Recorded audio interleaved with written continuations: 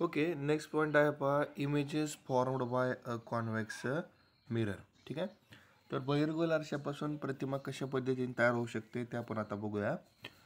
Figure eleven point twelve shows an object A B kept in front of convex mirror M N ठीक आहे?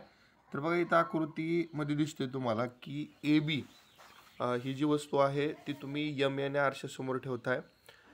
Incident rays AQ starting from A and traveling parallel to principal axis and AR going towards the center of curvature as shown in figure. ठीक आहे तर बघा इथे incident ray दोन दाखवले तर एक आहे ए क्यू आणि दुसरी आहे ए आर ठीक आहे जो ए क्यू आहे तो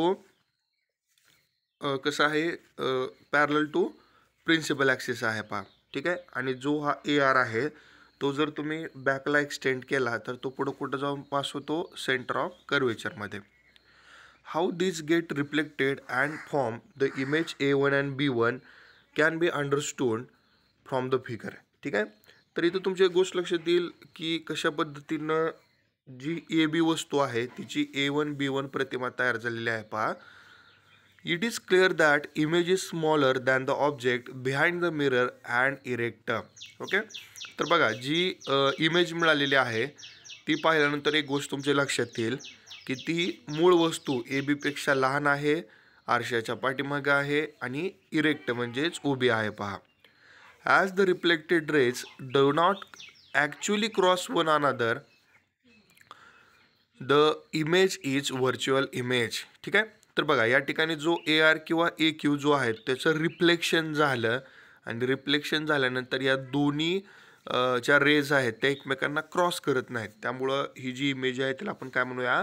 Virtual image okay then the nature of image formed by convex mirror does not depend on the distance of the object from the mirror ठीक आहे? आता ही गोष्ट सगळ्यांनी म्हणजे लक्षात ठेवायची पहा की बहिर्गोल आरशापासून तयार होणारी जी इमेज किंवा प्रतिमा आहे ती कशावरती अवलंबून नसते. तर जो काय ऑब्जेक्ट या ठिकाणी आपण घेतो आहे किंवा तो आरशापासून कुठं ठेवतो आहे याच्यावरती अवलंबून नसते. आणि आणखीन एक गोष्ट these images are always virtual smaller than the object and situated behind the mirror ठीक आहे? तर या ज्या प्रतिमा आहेत पहा त्या नेहमी कशा असतात? व्हर्च्युअल म्हणजेच आभासी असतात. ठीक आहे? तर व्हर्च्युअलचं मिनिंग तुम्हाला माहिती आहे. पहा व्हर्च्युअल म्हणजेच ज्या रिफ्लेक्टेड रेज आहेत त्या जर एकमेकांना क्रॉस झाल्या तर आपण त्याला रिअल इमेज म्हणतो. आणि जर त्या क्रॉस झाल्या नाहीत तर त्याला आपण व्हर्च्युअल इमेज म्हणतो. स्मॉलर दॅन द ऑब्जेक्ट ठीक आहे? तर बघा आकृतीमध्ये क्लिअर कट लक्षात येते की जी ए बी वस्तू आहे ओके त्याची image A one B one आहे. आणि ती कशी आहे? पहा लहान आहे. ओके आणि प्रतिमा कुठं तयार झालेली आहे? आरशाच्या पाठीमागं behind the mirage mirror okay